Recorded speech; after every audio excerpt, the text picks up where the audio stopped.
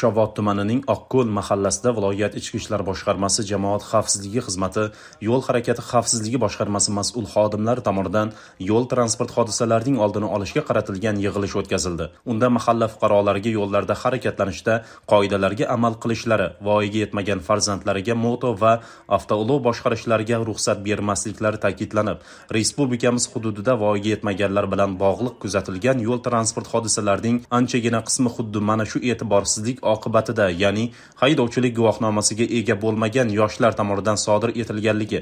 Eng achinarlisi esa ushbu holatlar qurbonlarsiz bo'lmasligi tushuntirilib ota onalar bu borada qat'iy ogohlikka chaqirildilar. Qolaversa mazkur tadbir ishtirokchilariga yo'llarda piyoda yoki boshqa moto va transport vositasida bo'lsin harakatlanish qoidalariga birdek amal qilish zarurligi. Har bir harakat ishtirokchisi o'zi va atrofidagilar xavfsizligi uchun mas'uliyat his qilishlari yuzasidan tushuntirishlar berildi.